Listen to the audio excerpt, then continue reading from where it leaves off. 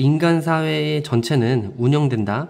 아는 것에 어, 아는 것에 있어서 미래 날씨를 알아야 된다 이 말이잖아. 중요한 거 딱 고르면 인간 사회 어, 날씨 날씨 아는 거. 그래서 인간 사회 날씨와 관련되어 되어 있다. 예를 들어서 인도의 농부들은 안다. 언제 장마가 올지 내년에 내년에 언제 장마 올지 알아. 그래서 그들은 알아.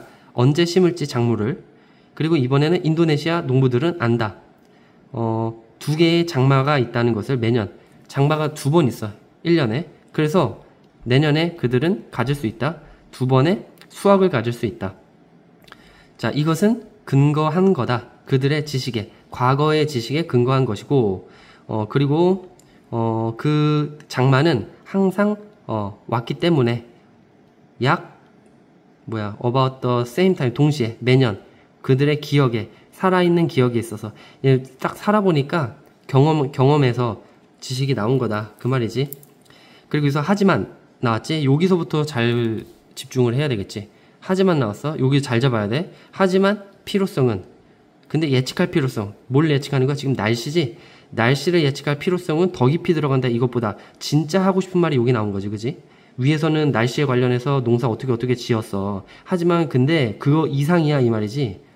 자, 그것은 영향을 미친다. 우리 삶의 모든 부분에 영향을 미친다.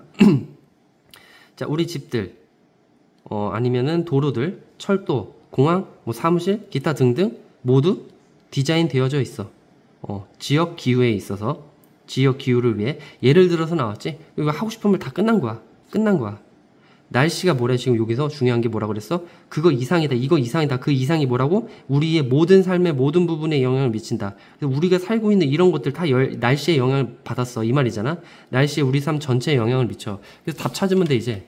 1번에 보면은 새로운 기술, 기술 얘기 안 나왔어, 그지? 다루는 기후 변화를 다루는 새로운 기술 아니고 어려움들 예측하는 날씨를 정확하게 예측하는데 어렵다 그런 얘기 아니고 날씨 패턴 영향을 받는 어, 날씨 패턴이 영향을 받는다 뭐에 의해서 온도 상승에 의해서 아니고 지식 날씨를 알아야 된다라 그랬어, 그지? 날씨의 지식 널리 크게 영향을 미치는 우리의 삶에 그래서 우리 삶에 영향을 크게 많이 미치는 날씨의 지식. 딱 맞지? 4번이지.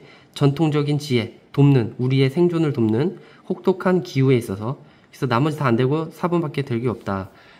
더 읽어보면 예를 들어서 영국에서 모든 집들 가지고 있어. 중앙 난방 시스템을 가지고 있어. 집 따뜻하게 하는 거. 왜냐하면, 어, 바깥 온도가 보통 20도 아래이기 때문에 하지만 주어 동사 but 뭐 뭐야 it has 정도 생략이겠지 에어 컨디션을 갖고, 갖고 있지 않아. 어, 왜냐하면 온도가 거의 어, 26도 위로 가지 않기 때문에 에어컨 필요 없겠지. 반면에 호주에서는 반대가 사실이다. 그 반대다. 이 말이지. 대부분의 집은 가지고 있어. 에어 컨디션을. 하지만 중앙 난방 시스템은 거의 가지고 있지 않다.